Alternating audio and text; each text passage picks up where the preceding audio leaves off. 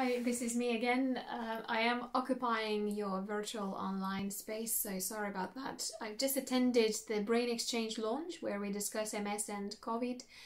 We had a very interesting discussion starting with uh, B cell depletion therapy and whether the MS services continued that treatment. So initially everyone agreed that there was a such a confusion what to do in terms of whether to start, stop, or complete the cycles of the medicine. So there was a per- period of time that there was no activity in prescribing, and then the the criteria has eased in majority of the countries, So the tablet form, injectable interferons were continued, and some services um, used the cladribine treatment because the the evidence uh, suggests that CD4 and CD8 um, reduction is transient and is safe in, in pandemic.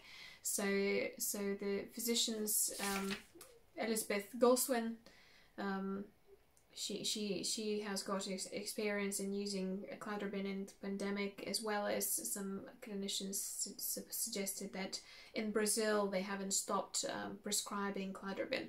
So that was interesting, and um, also, we discussed about the responses to vaccination being on the uh, anti CD20 therapies or B cell depletion therapies, and uh, the advice, the current advice the neurologist would provide to people that um, they say that let's wait until the vaccine is uh, is developed and then we will have these discussions later, because the vaccine depends. Uh, depends what the spe- spe- specificity that the vaccine has got and whether the vaccine epitopes um, themselves um, uh, what are they like and, and, and people on B cell therapy may still respond to vaccines very nicely.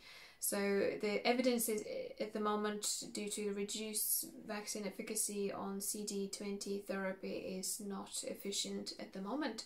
So everyone feels that it's appropriate to continue start or start uh, anti-CD20 therapy.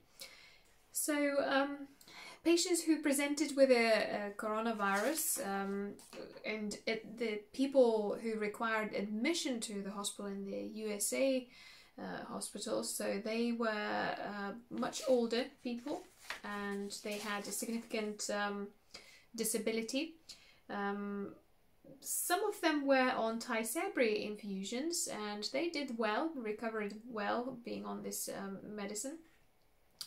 Um, some people following the recovery of the coronavirus uh, developed um, a relapse of the MS, and there were some pseudo relapses during the, the coronavirus infection, as you would normally expect somebody who has got infection. People do get unwell, and uh, quite common symptom uh, with the presentation of coronavirus or COVID 19 infection was extreme, extreme fatigue. A lot of people reported that it, it was more than normal fatigue. So, yeah, um, that's, that's about it. And um, in terms of the what to advise people on shielding and should we um, tell people to stay at home or work from home. Um, I think it, at the end of the day, it's a very individual, personalized decision, um, and we have to look at case by case in a way, and we have to wait staying at home versus going to work. What what is the benefit of of staying? And as you know, people can mentally be affected by staying at home, and they still have to resume their social so social life, although keeping this social distance. Um, yeah, so that's um, that's about it. And um, one of the physicians from France um, suggested that the cases are growing exponentially, thousands of people a day, a day at the moment, and that they're experiencing a second wave of coronavirus um, in France.